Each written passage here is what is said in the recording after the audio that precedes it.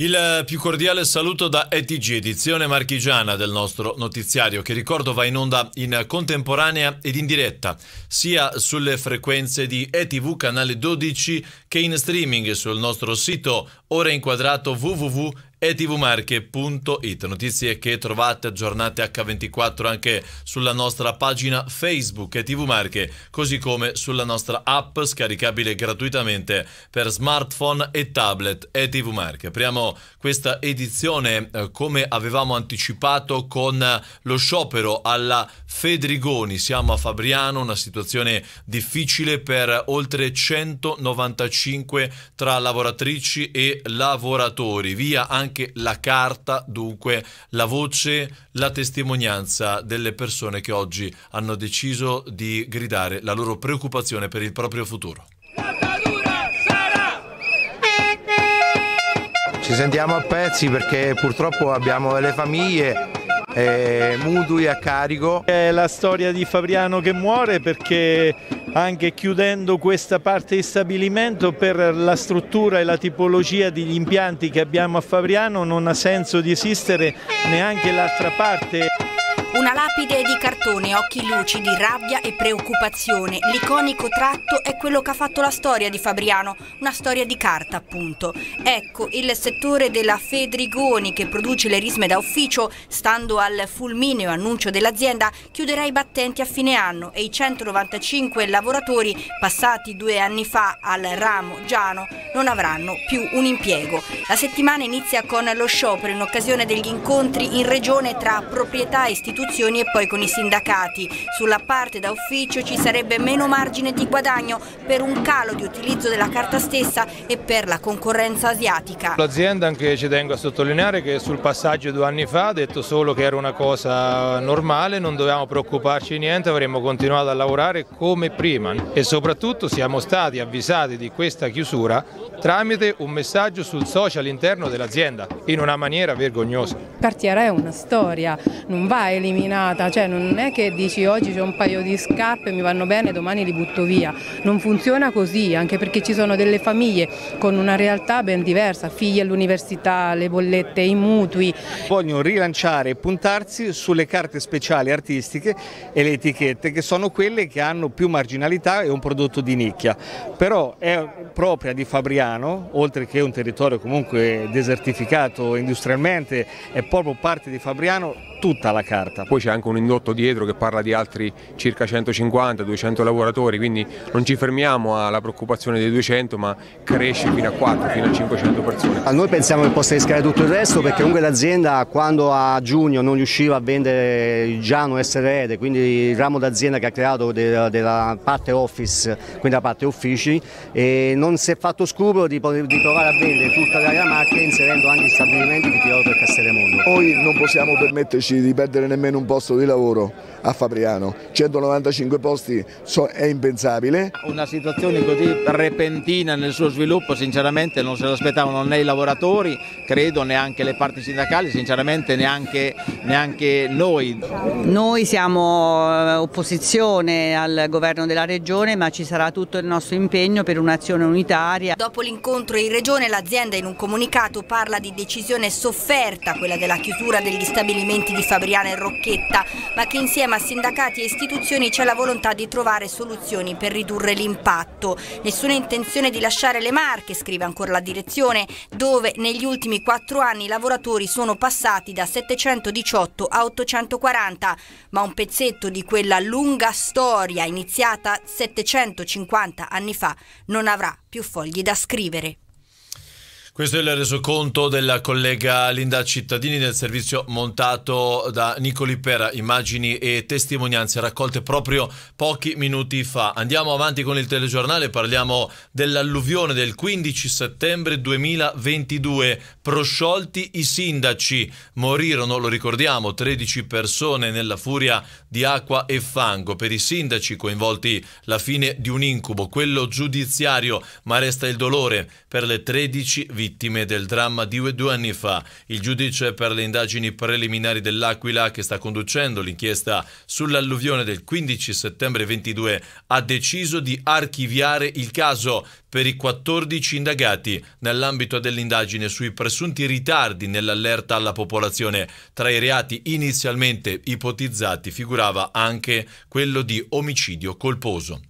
Parliamo ora di un'altra manifestazione di protesta, questa volta sul fronte raffineria Api di Falconara. Carenze di comunicazione e controllo. Questo lo sfogo eh, dei manifestanti. Sentiamo. Cioè, l'ultimo episodio delle esalazioni di agosto è emerso da un documento che abbiamo ricevuto da ISPRA, che è l'organo tecnico per chi non lo sa del Ministero dell'Ambiente, che praticamente più di mezza raffineria è andata in blocco per un cortocircuito generato da dei ratti dentro una cabina elettrica. Cioè, noi pensiamo che un impianto di questo tipo non debba essere così vulnerabile, no?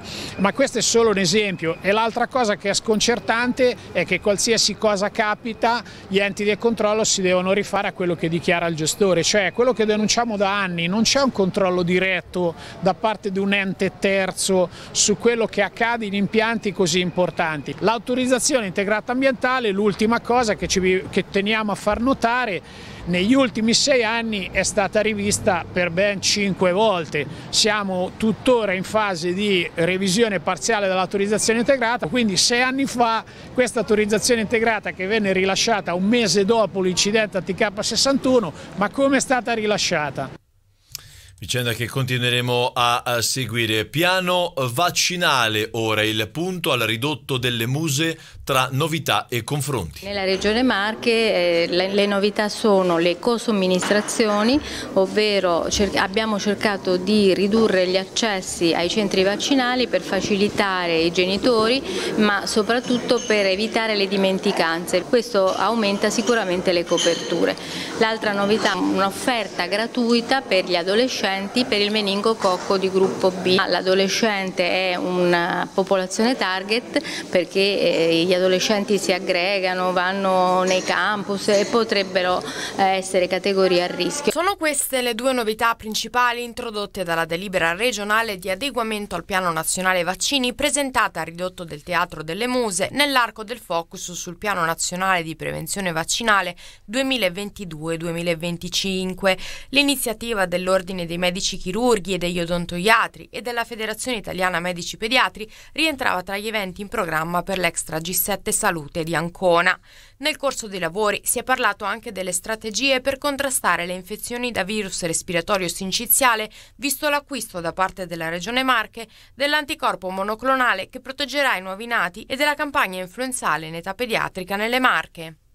L'unica criticità è eh, che purtroppo la ditta produttrice ha, ha, dei ritardi perché alcune regioni hanno già accaparrato la, la, la, fornitura di questi anticorpi, non ci si aspettava questa adesione da tutte le regioni, quindi speriamo di superare questa criticità e di partire eh, in tempo come era stato promesso verso la fine di ottobre, prima che arrivi il virus respiratorio sinciziale. Vi state già organizzando anche per quello che riguarda la vaccinazione influenzale? Ecco, per la vaccinazione anti-influenzale invece siamo già eh, addirittura d'arrivo perché la campagna è stata già decisa che partirà il 15 ottobre e ricordiamo che per la fascia pediatrica eh, i bambini sono categoria identificata a rischio dalla circolare ministeriale quindi dovrebbero vaccinarsi tutti i bambini dai 6 mesi ai 6 anni. Importante anche la vaccinazione delle donne in gravidanza, non solo per la salute stessa delle mamme, ma anche dei bimbi che nasceranno. Raccomandate in tal senso sono la vaccinazione antinfluenzale, ma anche quella per la pertosse, che protegge il nascituro anche nei primi mesi subito dopo la nascita.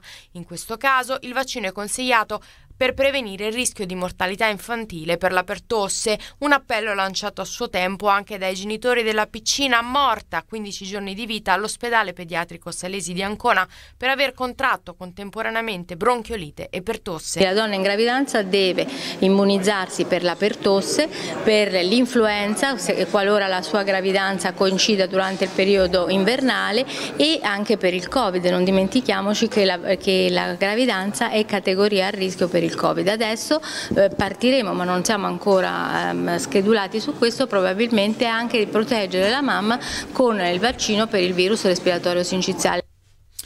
Cambiamo argomento, ospite questa mattina della rassegna stampa di Buongiorno TV che tra poco andrà in replica. Luca Bocchino di Confartigianato Imprese Ancona Pesaro Urbino. Per lanciare l'allarme pneumatici sono troppi nella nostra regione, molti non sono tracciati acquistati online senza le necessarie accortezze, a rischio il cambio gomme invernale perché la categoria è satura, i nostri 200 operatori lavorano al massimo dello sforzo, ma il rischio è il blocco dell'operatività. Trovate l'intervista sul eh, nostro sito etvmarche.it. Chiudiamo con eh, un'iniziativa molto attesa e molto sentita, Pane Nostrum. L'obiettivo è superare le 50.000 presenze dello scorso anno per Pane Nostrum, il Salone Nazionale dei Lievitati a Senigallia dall'11 al 13 ottobre, quando il profumo di lievito e farina avvolgerà il foro annonario e l'area circostante con massa masterclass, convegni, show cooking e soprattutto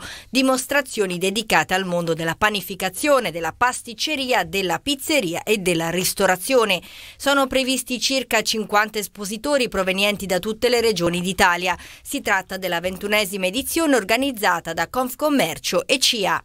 Avremo a Senigallia una tre giorni splendida, profonda, tutta legata al mondo del lievitato e della panificazione e quindi tutto ciò che è eccellenza e anche imprenditorialità legata al mondo della lievitazione e, dei, e del pane sarà presente a Senigallia. Verrà coinvolta tutta la città e verranno coinvolti eh, tantissimi professionisti che da ogni parte d'Italia arriveranno, tanti maestri panificatori che eh, cercheranno di rendere partecipe la platea delle loro abilità. Pane Nostrum è un format che tradizionalmente viene collegato sicuramente alla nostra città negli ultimi due anni ha assunto una veste nuova e per noi rappresenta non solo un momento promozionale ma soprattutto un momento di grande riflessione da un punto di vista enogastronomico che è un po' una caratteristica della città di Senigallia.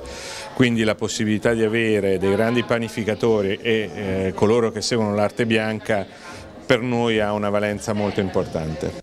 Fondamentale il ruolo degli agricoltori nella filiera dei panificati.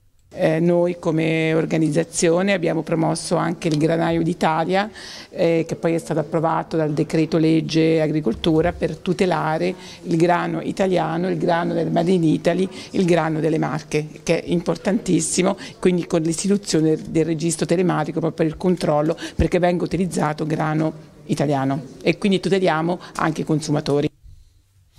È tutto per questa edizione regionale del nostro notiziario. Vi lasciamo alla sintesi della rassegna stampa di Buongiorno TV in onda tutte le mattine dalle 6.45 alle 9.30 con riproposizione alle 13.30 e 14.30. Prima poi della versione serale eh, di Buongiorno e Buonasera dalle 18 alle 19. Tutto, grazie, buon proseguimento con i nostri programmi.